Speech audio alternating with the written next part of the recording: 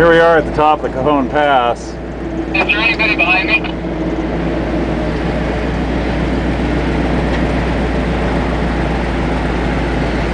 And it towed just fine all the way up.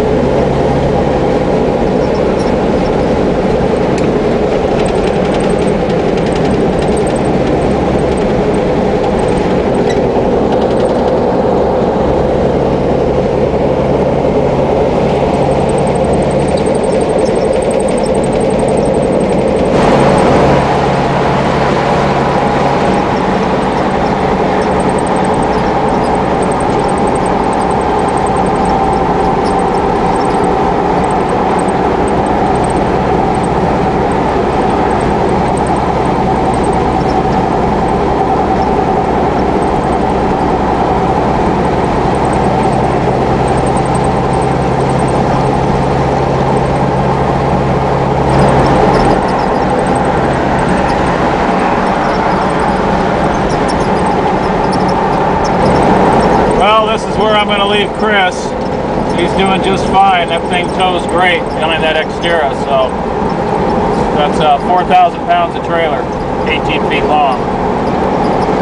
So off we go. We're getting off on Wild Wash Road. There he goes.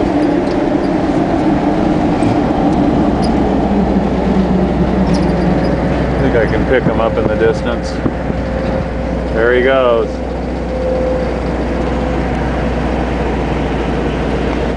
Well, yeah, so Chris made it up there just fine. Up here, no problem at all. We're on 15 and uh, Wild Wash Road. Just went through uh, the Apple Valley, one of the Apple Valley turnoffs and stuff. I guess this whole area is full of mines.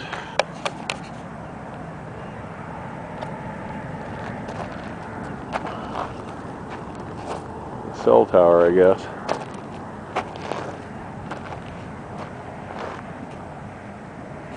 So I'll have to come up and explore this area sometime.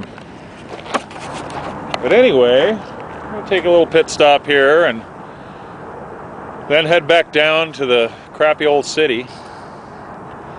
Desert's hazy. It must be from all those fires that we've had. The smoke's still just going around in circles, I guess, great big giant circles.